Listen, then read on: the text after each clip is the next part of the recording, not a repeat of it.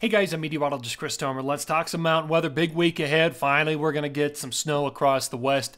Three storms lined up. The first two, pretty minor compared to the third. The third is really the main event for most places, not all, but the first two will basically sacrifice to basic chip away and kind of dislodge this bulletproof high that's been sitting across the west now for two solid weeks. So you're looking at satellite here of the Pacific.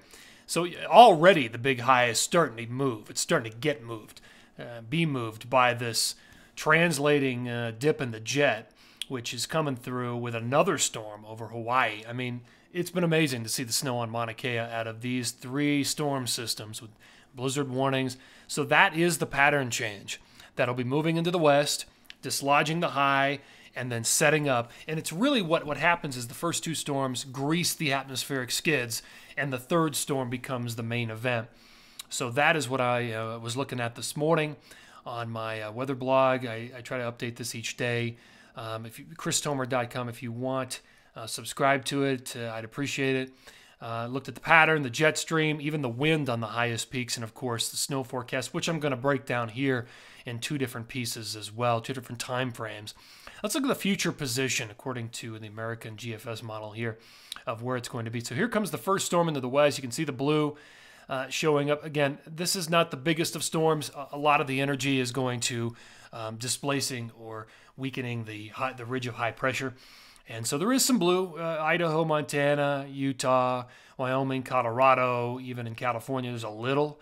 But then that slides through and it's basically done. By the time we get into Tuesday night, it's over. So here it is. I'll back it up. You can see it. It's mainly Monday afternoon into Tuesday, and then that's it. So by Wednesday, we're back just kind of waiting. Here comes a small, tiny little shortwave. This, this is Wednesday night, Thursday morning right here. You can kind of see it. Just a little low little ripple sliding through with just another inch or two of accumulation through Wyoming, Utah, and Colorado. That moves through and then sets the stage. The main storm's on its heels. There it is. Let's see what the pressure is according to this.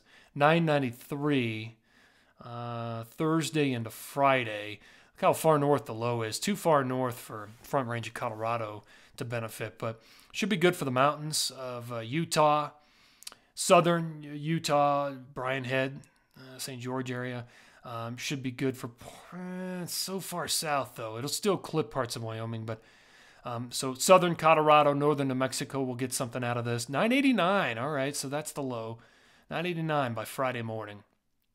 989, um, and then it slides away. So by Saturday, uh, the storm is dissipating and the snow is ending, even in Colorado. So the main event Thursday, Friday, ending on Saturday, should make for excellent skiing. Friday, Saturday across Wyoming, Utah, Colorado, northern New Mexico. And then it's out of here, but that's what we're looking at across a large part of the West. What about snow total? So we'll do this in two phases. This is my forecast today through the 8th. So through the 8th. You can see the numbers between the first and the second storm. There's not a lot there. Uh, 1 to 3 over Utah, 3 to 6 in Colorado, minus Silverton being a little heavier pocket six, seven, eight inches through uh, the Tetons up in the southwest Montana.